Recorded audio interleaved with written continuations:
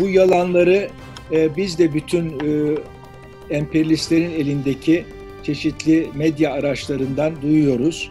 Ama e, onların yalanlarıyla e, gerçekler arasında tabii büyük bir e, uçurum var. E, bugün en hızlı bir şekilde nüfusu artan bölge Sincan. Diyorlar ki efendim orada e, bir soykırım yapılıyor ama bakıyoruz Sincan'da e, nüfus e, Çin'de en hızlı bir şekilde artıyor ve e, bir takım kamplar olduğunu ileri sürüyorlar ama biliyoruz ki o eğitim merkezlerinde e, Sincan e, halkına hem e, meslek e, bilgisi öğretiliyor hem Çince öğretiliyor hem de hukuk öğretiliyor. Böylece o insanlarımızın kendilerini daha iyi geliştirmeleri hem toplum içinde hem de devlet yönetiminde e, daha e, ileri yerlerde görev yapmaları için imkanlar e, tahsis ediliyor. O bakımdan bütün bu yalanlar bir emperyalist politikanın aracıdır. Amerikan emperyalizmi aynı yalanları Türkiye için de söylüyor. Türkiye'de efendim Kürtlere karşı şu baskılar yapılıyor gibi. Amerika'nın hedefi olan ülkeler var.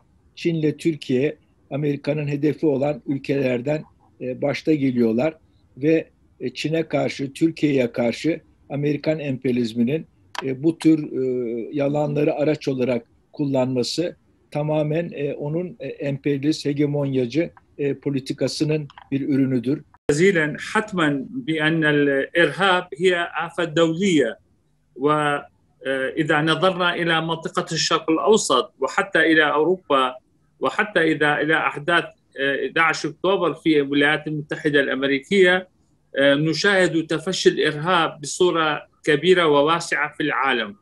وهناك خطوات عديدة ومتنوعة من قبل دول العالم في مجال مكافحة الإرهاب. ويبدو إن الخطط في هذا المجال هي ليست موحدة.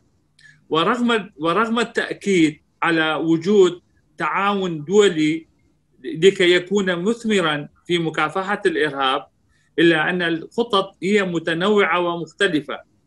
أعتقد أعتقد بأن الخطة المتبعة في مواجهة الإرهاب في الصين عموما وخصوصا في تشيانجينغ وأنا شاهدت اورمشي قبل سنوات بنفسي هي الخطة الأنجح إذا تمت المقارنة بكل الخطط الموجودة في العالم.